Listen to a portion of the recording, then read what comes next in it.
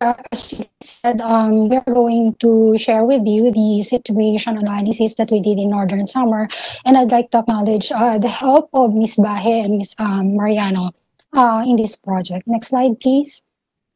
So uh, here, um, I'm just going to give you uh, the key messages that it's going to be embedded in the discussion. So everything that I'm going to discuss is in the context of these key messages.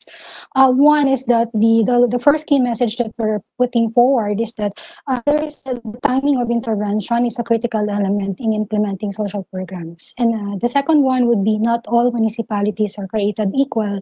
Um, and there are many elements here, but we're going to focus on the in terms of um, resources and in terms of the behavior and attitudes of uh, the LCEs. Uh, and then the third one would have something to do with with poverty, uh, the lack of economic opportunities, and geographical isolation. And then the fourth one has something to do with the supply side, and the fifth one has something to do with uh, the nurturing care practice. Uh, next slide, please. So for key, going into key message number one, uh, the timing of intervention being a critical element in implementing social programs. Uh, Mamsel already gave an overview uh, on this one, but I think that it's uh, it, it bears repeating. Um, that the, really the timing of intervention is very critical, uh, and and this is um, uh, it can we can see that we we picked a um, uh, figure from the World Development Report in 2019, and this is uh, it, it really captures what it, it means because from the, uh, the the the the zero up to infancy, that's when we are learning more. That is when the brain, the infrastructure of the brain is being formed, and that is when we are able to absorb uh, information, maybe and, and, and so it, it goes down as we grow older. Uh, and conversely, um, there is um, a bigger, bigger effort in terms of uh, the, the need to uh, produce learning as we grow older. Because uh, there's already a scientific evidence that says that the fastest synaptic growth and connection uh, happens in the first uh, 1000 days 270 days in the womb and 730 days in the first two years. So now, if the timing is right, then the uh, social programs uh, can help in correcting inequalities stemming from circumstances at birth and social origins. Uh, what do we mean when we say this? Um, means that it doesn't matter whether you belong to a poor family or whether you belong to a rich family. Each one of us will have an equal shot at uh, having a good life, having a good career, having a good education. If um, if the social uh, programs in place are able to uh, get their policies right and if the timing of the intervention is, is right. So the timing is really critical. Uh, and there are already studies that says that uh, uh, interventions at the early stage of life is more effective than those administered later in life. Um, initial conditions at birth actually uh, it affects cognition, and if, if it affects cognition, then uh, later later on it's going to affect uh, income uh, outcomes like income, labor force participation, a person's productivity, and there are already studies that, that says that the initial conditions at birth, meaning how you are born, the, the, the your endowment when you were born the family background that you have. Is important in explaining social outcomes like crime, social engagement, trust, and voting? Uh, next slide, please. So um, uh, uh, at the center of the ECCDF1KD or the Early Childhood Care Development First 1000 Days is, is really this timing and, and it seeks to provide um, ECCD system not just for the health and nutrition but also for education uh, and psychosocial stimulation uh, and early education. Um, it's the ECCDF1KD is actually consistent with the AmBisyon Natin uh, 2040 under the pillar of pagbabago and it is articulated as well in the uh, PDP 2017 to 22, uh, where human development is, is uh, recognized to be a means to equalizing opportunities. Um, and at the same time, um, the ECCDF1KD, if, if, if, it's really successful, is it's going to help, uh, help achieve a lot of the SDG targets in ending hunger, uh, in ensuring good health and well-being, and, and in reducing inequalities through the promotion of equal opportunities, among other things. Um, next slide, please. Um, so all uh, all efforts are concerted towards this timing of intervention, and Mamsel already uh, mentioned about this PPAN. So the National Nutrition Con- Council has crafted the, the PPAN, which is the country's framework plan on nutrition, um, and it has recognized that the issue in health and nutrition is a, uh, you know it's multifaceted, and therefore there is a need for a complementation of programs, and so they crafted uh, programs which are nutrition nutrition specific uh, and nutrition sensitive. So when we talk of nutrition specific programs, these are programs that are planned and designed to address immediate causes of malnutrition. This includes the micronutrient uh, supplementation program, the feeding program, um, the program for addressing um, malnutrition and such. So when we talk of nutrition sensitive programs, these are programs that can be tweaked to produce nutritional outcomes. And there are targets, uh, for example, specific groups or areas that, that, are supposed to be beneficiaries of these interventions. Example of this would be um, uh, gulayan sa paaralan, backyard gardening, livelihood programs, etc. Um, next slide, please. Uh, at the at the multilateral uh, uh, level, uh, the UNICEF, WHO, and World Bank uh, came up with uh, crafted the nurturing care framework, and it's pretty much consistent with what the ECCDF1KD. This is the roadmap um, the, of strategic actions that are aimed at the holistic child development. So, being holistic, it's not just for sectors like health and nutrition, but also for education sector, labor, finance, social protection, water and sanitation. Uh, and at the center of this nurturing care framework would be um, the household, the uh, uh, nurturing care, uh, which would takes place at the house, household level, but it recognizes that it requires strategic and synergistic action, and therefore, from the household to the national level, household community to the uh, national level, uh, they they need to work together in order to uh, come up with solutions. Um, next slide, please. So just to show you some uh, uh, uh, pro profile in the Philippines, uh, stunting remains a big issue. No? Based on the uh, FNRI 2018, uh, around 37% of children aged 12 to 23 are affected by stunting. And even our MMR or the maternal mortality rate is still high compared to the SDG target. next slide, please. So just to show you some, uh, this is uh, uh, just to show you some information in terms of the field, uh, the the site, the study site that uh, we conducted the KII and FGD in. It's Northern Samar, uh, and the stunting prevalence in Northern Samar is really high based on the WHO cutoff values, which is around 45.3. In fact, it uh, in Northern Samar is one of the provinces in East Eastern Visayas with the highest stunting prevalence in the region. Um, in terms of wasting prevalence, it's uh, also poor at 5.9% based on again in the uh, based on the WHO WHO cutoff values. Um, and we focused on Lope de Vega and Catarman. And there is a substantial um, difference between the two. Lope de Vega is a fourth class municipality. Uh, 16 out of its uh, it's 22 barangays are GIDA, and it has a very high uh, uh, stunting prevalence in 2017, but, but this is based on the operation uh, Timbang administrative data that is uh, 41. And then Catarman is a first-class municipality. This is the capital of Northern Samar. Um, 11, only 11 out of the 55 barangays are GIDA. And based on its 2017 OPT, it has a stunting prevalence at 3. Um, so, but the, the, despite that, uh, we collected uh, uh, KII and FGD, we did that for Lope de Vega and Catarman, but uh, we also collected um, other um, uh, documents from uh, other municipalities. Next slide, please. So going into the key into key message number two, not all LGUs are created equal. Number one, uh, na, not equal in terms of leadership and governance because there are some barangays uh, that are more supportive of the ECCDF 1KD program.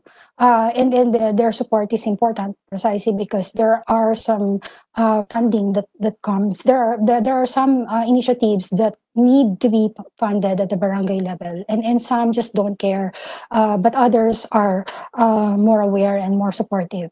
Um, second, mayors, uh, both in Lope de Vega and Catarman, they are supportive. Although uh, the priority uh, really is the, uh, are rather, are the infrastructure projects. So mostly the fund for, for the health and nutrition program is coming from the economic development fund. Uh, so around 20%. This 20% is then um, uh, divided into other um, uh, priorities and only 5% goes to the health and nutrition program. Uh, and then in, particular, the, uh, the previous governor uh, in Northern Samar abolished the Provincial Nutrition Action Office. Uh, and this has uh, substantial implications in terms of technical assistance provision. Um, because now there's uh, uh, there's only one at the provincial level working which is the PNAO which is the provincial nutrition action officer and all her staff were gone. So there's no, no she has no assistance in terms of, of um, providing help uh, at the municipal and barangay level.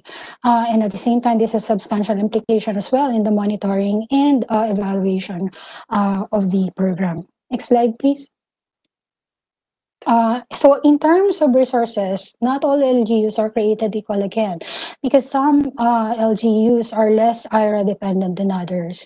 So you can see here we provided a sort of uh, map uh, based on the total resources, and all almost all of them are purple. So these are between 90 to 100 are coming uh, or 90 per 90 percent to 100 percent uh, of their uh, total resources are coming from external resources meaning from ira um, the only two uh, municipalities that do not have that kind of color would be Catarman and Allen. Catarman is around 75%. So it, in, in Catarman, um, they have um, uh, IGPs or income generating projects, uh, and they have economic enterprises as well. Uh, IGP, the, the, they have this facility that produces um, snacks that are uh, sna- uh, snacks that are uh, vitamin fortified, and they use this to target. they they give this snacks to um, municipalities for their health and nutrition programs. And at the same time, they sell these snacks to uh, CSOs and uh, uh, institutions who'd like to uh, to to help uh, the program. And then they have economic enterprise. Um, meron sila public market and terminal. And the good thing about this is that uh, everything goes to general fund. The collection com- from this uh, enterprises and IGPs goes to general fund, and this uh, it can therefore be used. Uh, the LGU can therefore use to finance uh, priority programs. Next slide, please.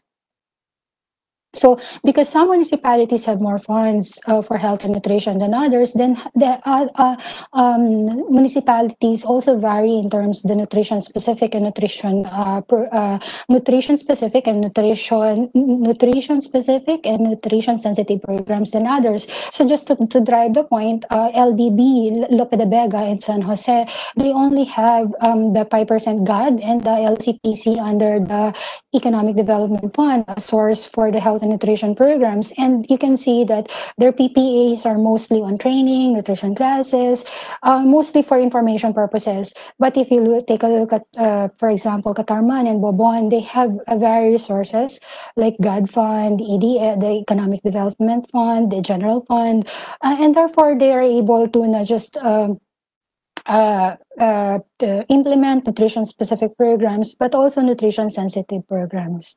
Uh, next slide, please. Um, so here, oh, we, we just wanted to, to uh, again drive the point that not all LGUs are equal uh, because we can see that the expended expenditures of most Northern Samar uh, municipalities are heavily concentrated in general public services. So uh, to our left, to our left, the one with the purple, uh, we can see that most of them are are spending their total resources in uh, general public services. General public services, these are um, services like uh, civil service, yung mga sweldo ng uh, civil servants, uh, yung sa um, peacekeeping, safety, yan, doon. Uh, and then if we, to our right, the green uh, graphs would be the uh, municipalities' expenses in terms of uh, this is economic services. So you can see that again, Catarman is uh, uh, spending around 33% compared, for example, to other municipalities like Silvino Lobos, which is only at 5%, the others are 8%. So you can see this is a substantial disparity there. Um, next slide, please.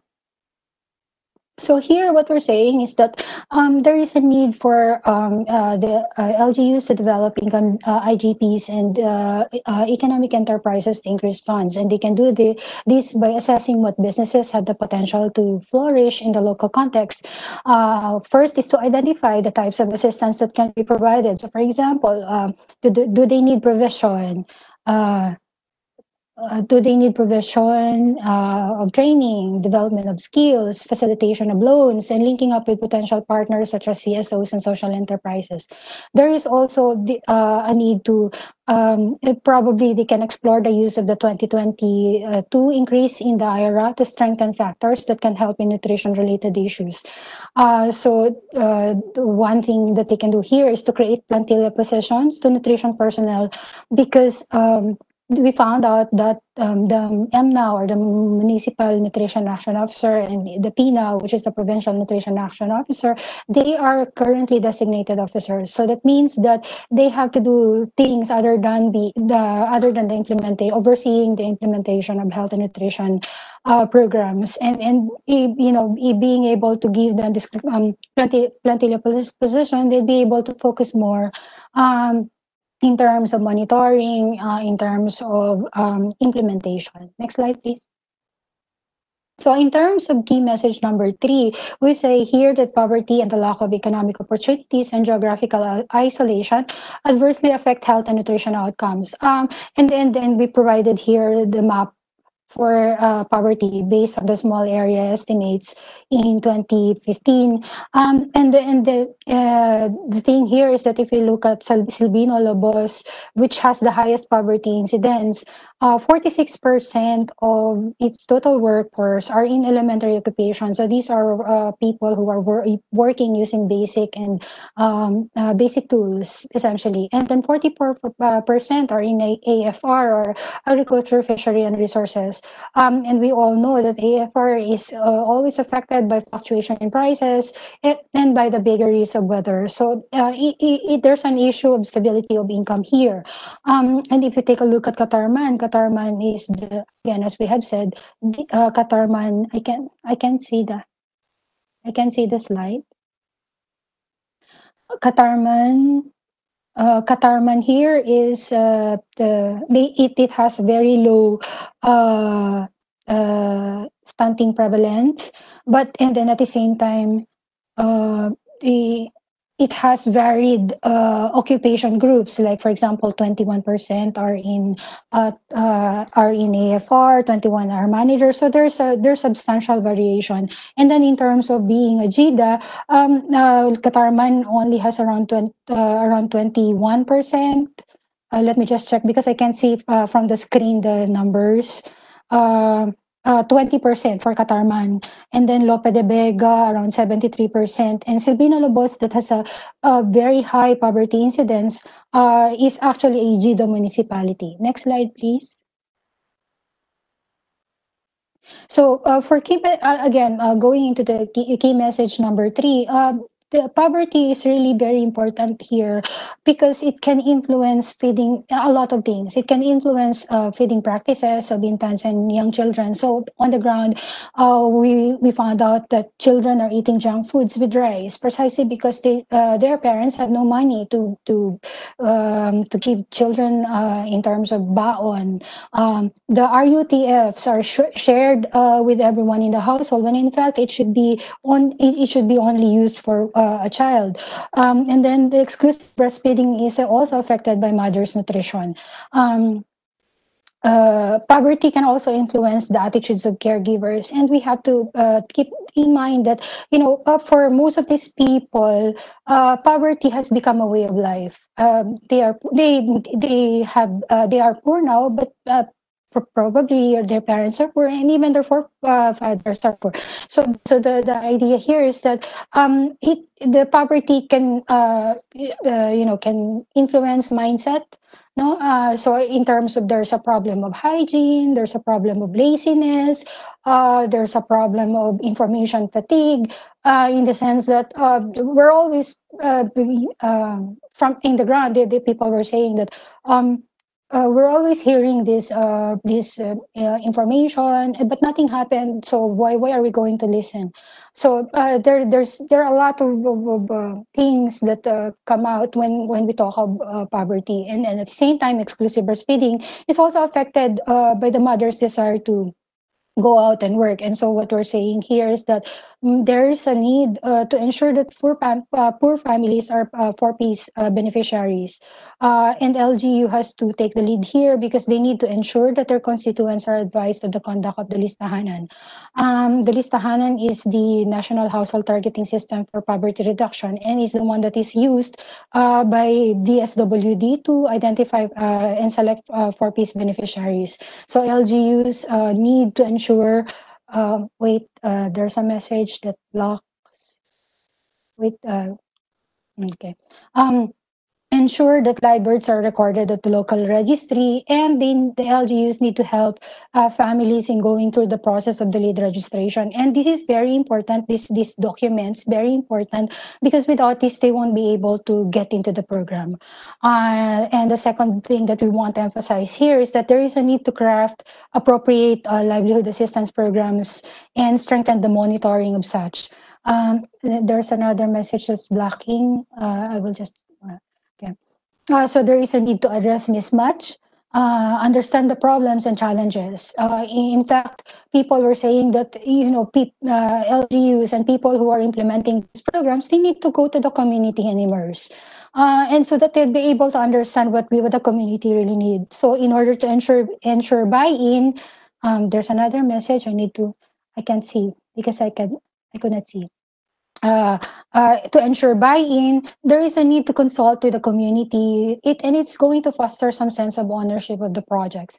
Um, address sustainability issues as well, because the the, the thing is, uh, people are saying that oh, they just gave us seedlings and they just gave us uh, um, uh, um, livestock or, or pigs or hogs for raising. But then again, they did not monitor what happened then. Did, did it turn, did, did, did they um, sell it? Did it turn into something more like uh, something more profitable? So there's no such thing that's uh, in place.